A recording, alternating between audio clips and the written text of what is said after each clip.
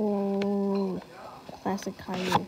How dare you HTH Canada GoAnimate 2009. That's it. You were ground, ground, grounded for 55 weeks. Go to him now.